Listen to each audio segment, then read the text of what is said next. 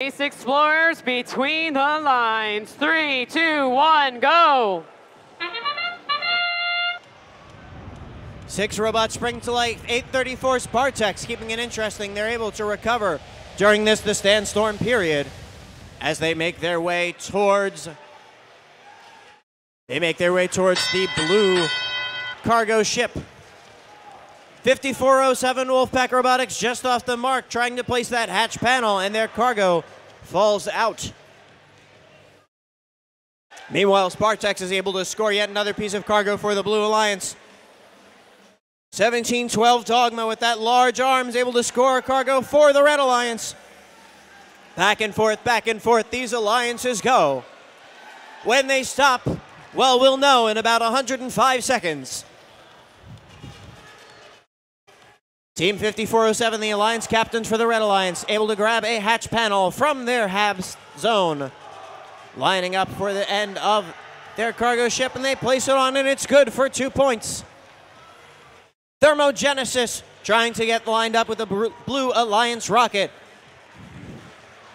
Meanwhile, 341 Miss Daisy with that large reaching arm.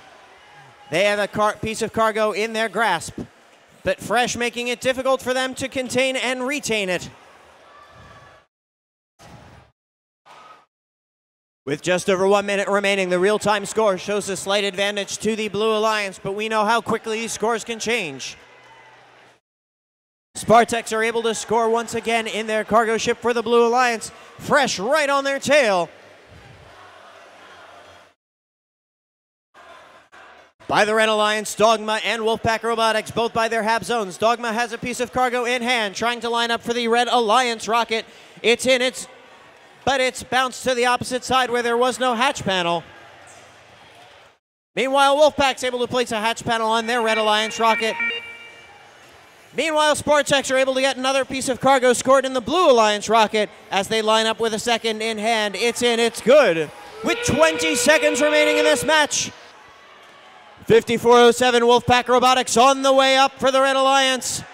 If they can get those outriggers lifted in their robot in time with eight seconds remaining, that'll get them a good third level climb.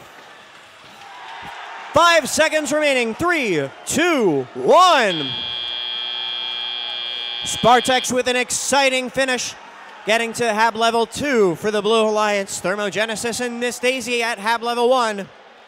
5407 Wolfpack able to make a third level HAB.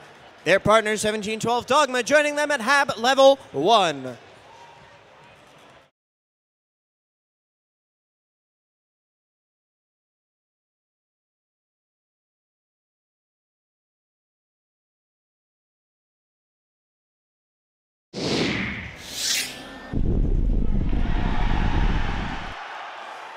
The Blue Alliance wins quarterfinal number four with a score of 78 to 61.